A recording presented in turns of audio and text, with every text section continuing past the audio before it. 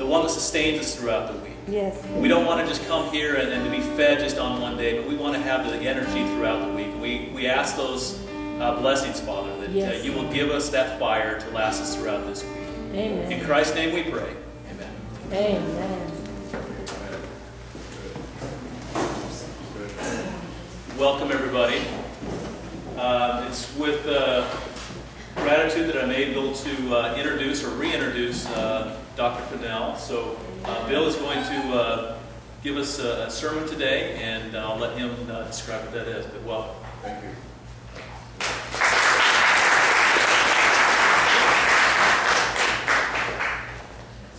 Get this hardware out of the way so I don't hang myself on this stuff. Good morning. Good morning. Great.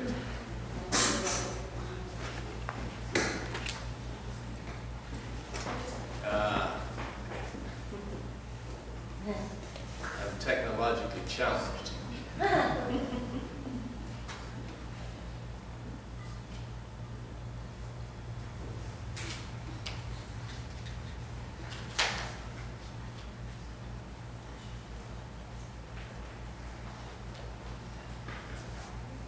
I've been attracted to the Old Testament and to Ecclesiastes.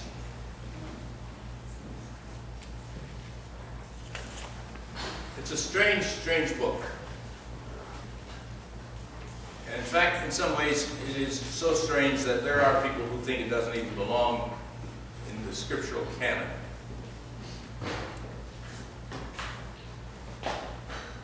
Solomon is its author. And Solomon, as you know, is a central character in the Old Testament. His father was David. He's said to be the wisest man in all of Israel's history. He even said so himself, that he was the wisest of all the kings that reigned in Jerusalem. And yet, if this is his writing, he has given us a very strange piece of work. It's the stuff of Philosophy 101, where you get together and you ask the tough questions. What is life? Why are we here? What's the purpose of it all? Is there any purpose at all? If life is a journey, where does it lead? What's the end of it? And if you get to the end of it, and we all do, at least as far as death is concerned, and you look back on it, so what? That's what this book seemingly is about. I want to lift up some thoughts in your minds this morning because I think it's important. Uh, particularly uh, if you're younger. I, I, I look at it differently than, uh, than some of you who are yet under, say, under 30. I was under 30 once, I don't know, I think.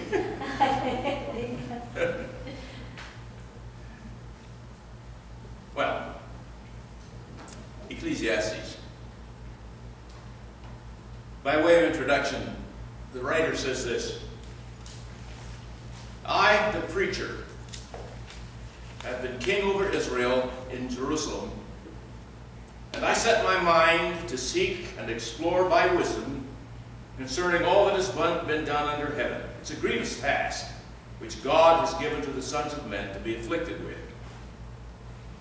I have seen all the works which have been done under the sun, and behold, all is vanity and striving after wind.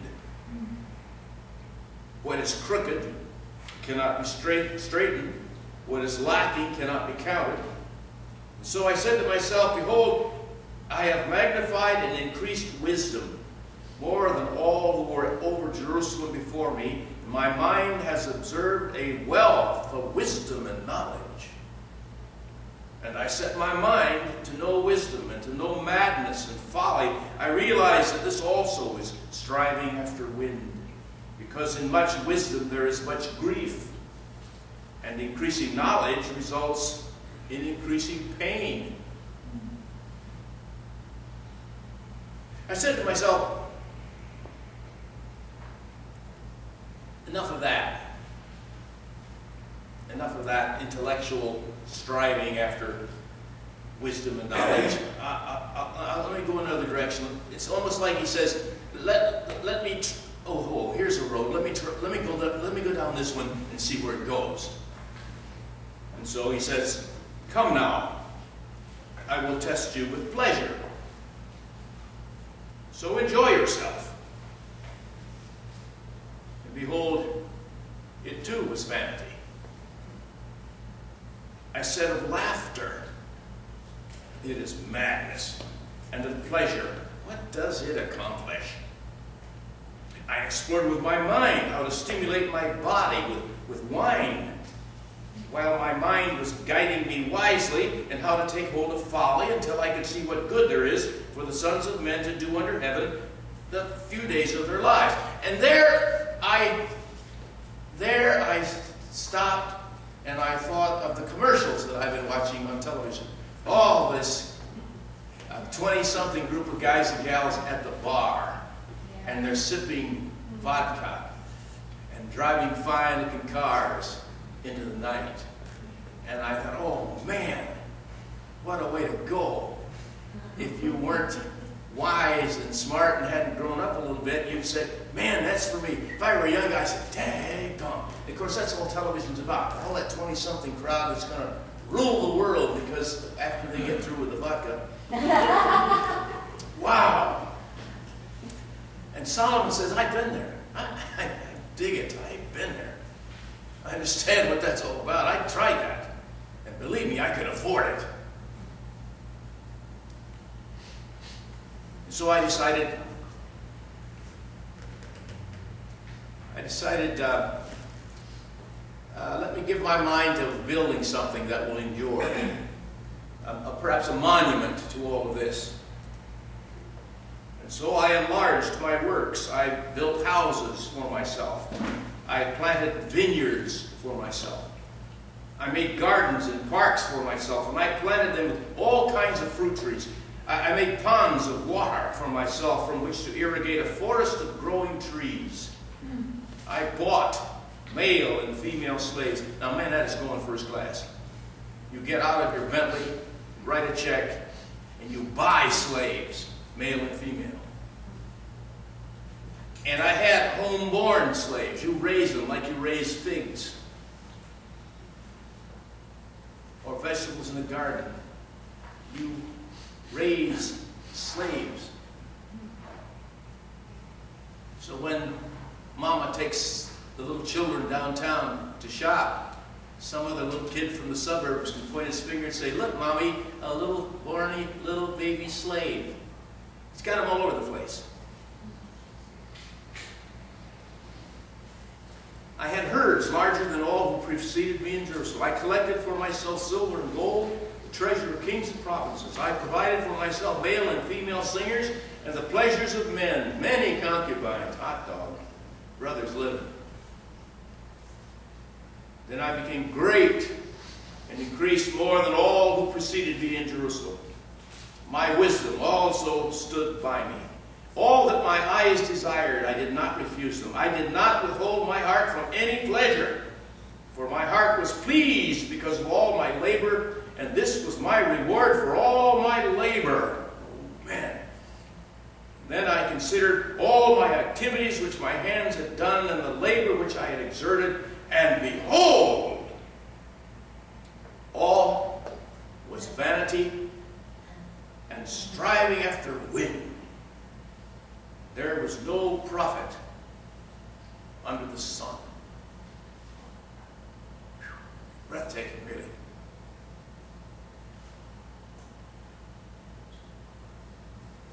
He pursues the thought. He asks the question, what then is it all about? It seems that we all get up in the morning and walk through the day and we all have the same amount of time. In fact, he goes on to say, there really is a time for everything. And you are familiar with the litany that he develops around the idea of time. There's a time to give birth. There's a time to die. A time to plant and a time to uproot what is planted. A time to kill and a time to heal. A time to tear down and a time to build up. A time to weep and a time to laugh. A time to mourn and a time to dance. A time to throw stones. A time to gather stones. A time to embrace and a time to shun embracing. A time to search. A time to give up the lost.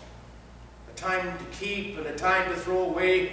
A time to tear apart and a time to sew together. A time to be silent and a time to speak. A time to love and a time to hate. A time for war. And a time for peace.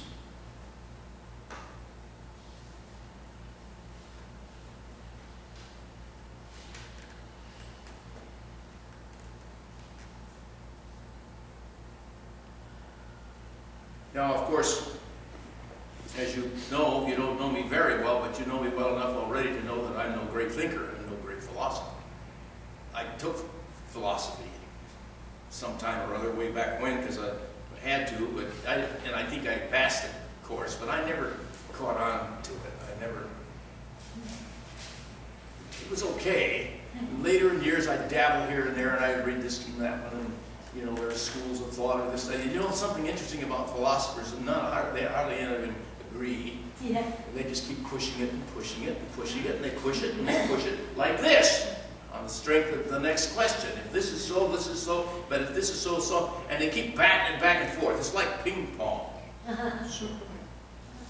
And there are schools of thought, and there are people who are devotees of this philosopher and that one, and so forth and so on. And all of it is filed in this wonderful, under this wonderful caption that he uses here, under the sun. If this this happens under, this is it. This is all we've got going for us down here, folks. Let's think about it. Let's see if we can get a hold of it. And it kind of slips through your fingers. Just about the time you grab the thing, it turns to dust in your hand.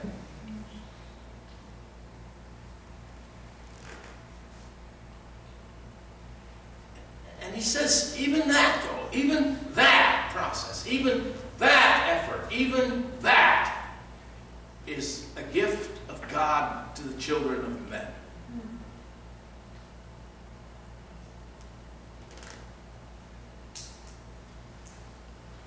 It doesn't seem to bother God at all.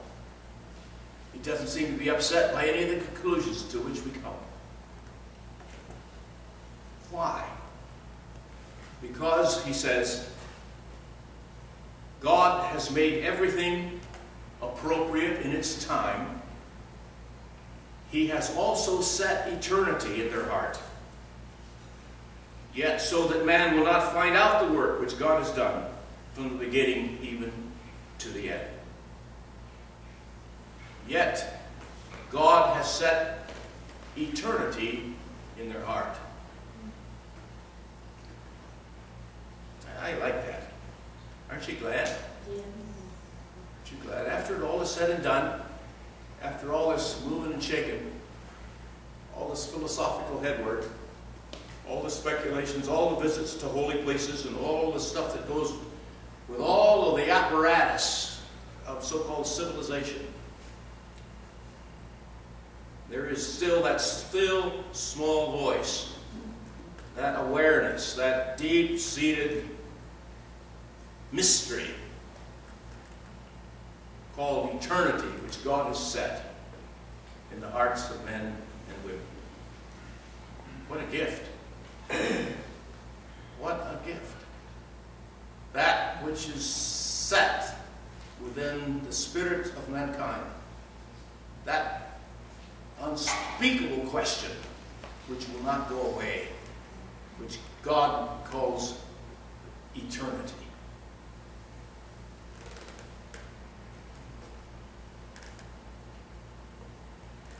When the Christian church gets together, celebrates the core of its faith visibly,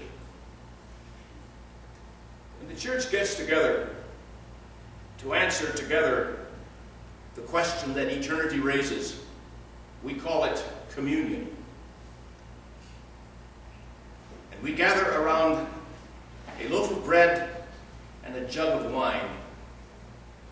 We celebrate an event in which God becomes man to answer that question. What's it all about? Is there purpose? Is there meaning? Can life be lived to the fullest? Can life be lived to the fullest without getting stewed on the weekend?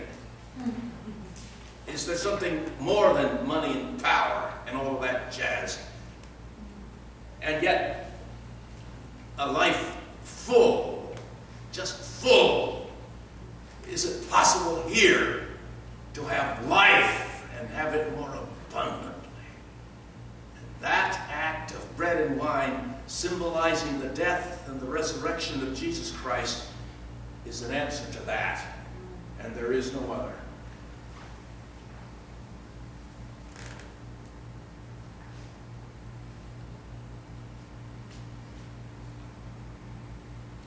It be fun?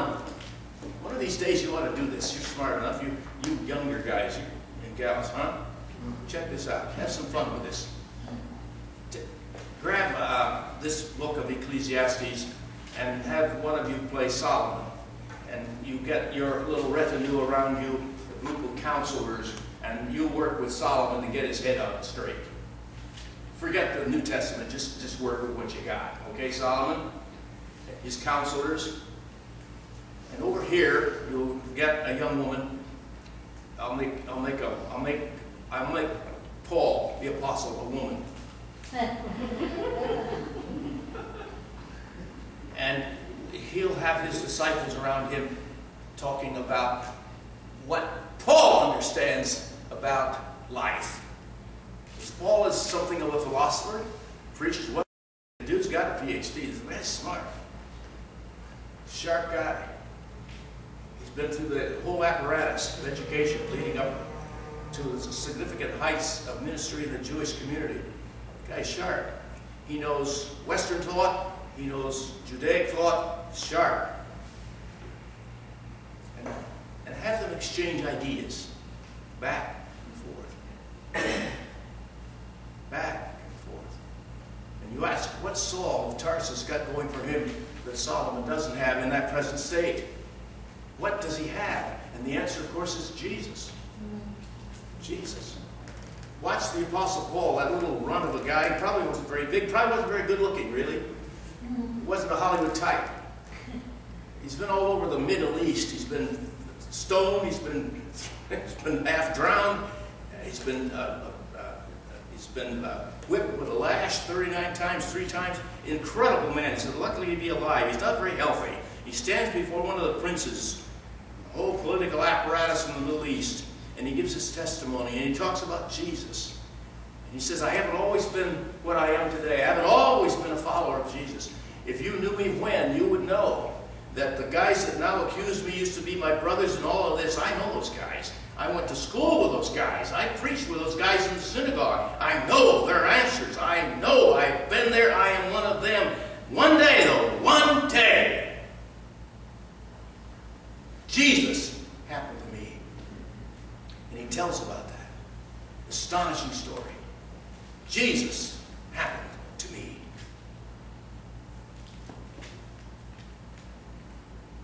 He tells that story. The politician looks down upon him and says, Paul, Paul, much learning has made you mad. You are out of your cotton you are nuts. And there are people who think that religion does that to you. Yeah, maybe. I think probably religion can do that to you, but not Jesus. And there's a difference.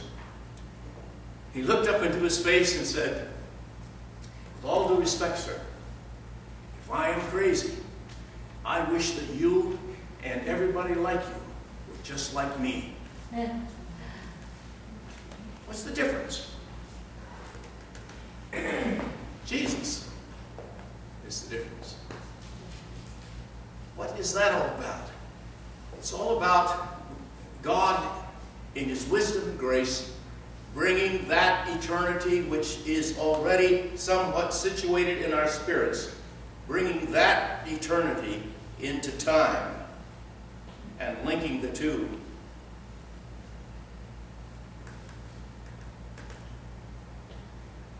Kingdom of heaven has come in Jesus Christ and in his ministry and word and in his life and in the Holy Spirit who imbues his people and the church.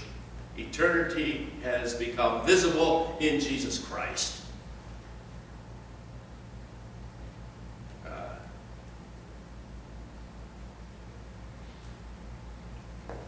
eternity, that's where we're headed. That's where we're headed. And the good news is you can have eternity in your spirit, in your life, to guide and guard your thoughts and mind and heart and steps on the way to eternity. You have the bird in the hand and the one in the bush. I was looking at, I remembered this word eternity, and I, like all young people do, I got on the internet.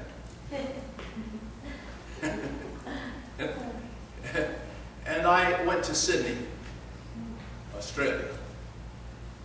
And I looked up a man who made history in that great city after he was converted to Jesus Christ. His name was Arthur Malcolm Stacey.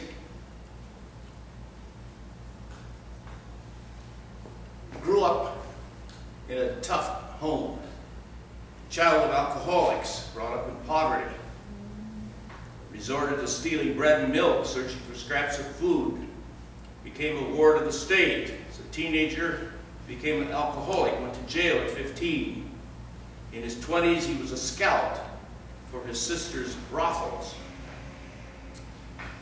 Interesting guy. He, he was a nothing sort of human being. A wasted life, to be sure. And then, one night in August of 1930, after hearing a sermon, he became enamored of the word eternity. Never dawned on him until he heard the sermon. And he committed his life to Jesus Christ. And he said, Eternity. I wish that I could sound or shout that word to everyone in the streets of Sydney. You've got to meet it. Where will you spend it? This eternity. I felt a powerful call from the Lord to write eternity. So several mornings a week for the next 35 years, he would get up, leave his wife Pearl, and go around the streets of Sydney and chalk the word eternity on footpaths, train station entrances, and everywhere else he could think of. It is estimated that he wrote the word around 500,000 times over the next 35 years. the man who writes eternity then becomes a legend in Sydney. And today, his name is in the National Museum of Australia, Canberra. The museum also has an eternity gallery inspired by his story. In Sydney today, the word eternity can be still written, can be still seen written in three places. On his gravestone, inside the bell of the clock tower, which he had dismantled during World War II. When the clock tower was rebuilt, they found the word eternity there. Amazing story. This is the man's legacy. You can find his name in the town hall square between St. Andrew's Cathedral and the Sydney Town Hall. The man is a legend in the city of Sydney because of one word eternity. And the question where will you spend it? That word and that spirit, that cognizance, that awareness seeps into the cultural fabric of a great city because of one man's witness.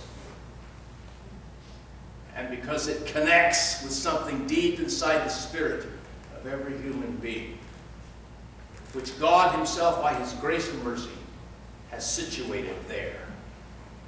He has set eternity in their hearts. Yet so that man would seek for God. And that search inevitably, by the grace of God, and by the Spirit of God, and by the workings of God, ultimately leads us to Jesus, His life and resurrection, His death, that makes it possible for us to be reconciled to God. It's a fab- fabulous story. A fabulous story. It, it would, in my imagination, it would be fun to situate Solomon in his passing before the God whom he knew, before the God to whom he addresses himself in a significant way. You know, Solomon, all of his wisdom, sits before God and strokes his long beard. And the Spirit of God kind of unpacks this stuff. I can just imagine how the wise guy sits there in absolute awe. His mouth is quiet, his heart is silent as he takes in this inestimable gift of God's grace. Let me tell you, Solomon, how this works out. Let me assure you that your words, particularly to young people, were absolutely right. Remember how he closes it? How he speaks to young men and women? Remember now your Creator in the days of your youth, before the years draw nigh, and you get older, and you say, I have no pleasure in them. Answer the call of eternity in your heart now. Remember now. There it is. You deal with eternity now.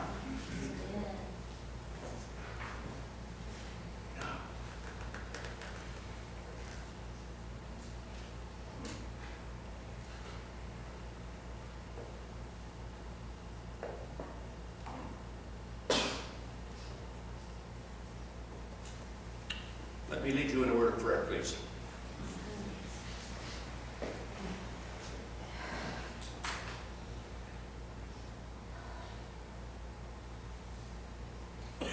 Our God, we are victims of and captive to our clocks, our watches, and we adorn our wrists with all kinds of jewelry. It's a way of telling other people what our style is and what our values might be. We have clocks, but we don't have a lot of time. We have minutes and hours, but we have no sense of time. So we waste time. We squander time. We ask by your Spirit Spirit in, who has implanted eternity in our spirits. Lord, uh, let that Spirit capture our own and get us refocused. Get us really clued in to what's really going on in reality. And lead us to the realization that you are reality. You are now. You are the fullness of time as you lead us into eternity. We thank you for your word today. Give us grace to walk in the light through Christ our Lord. Amen.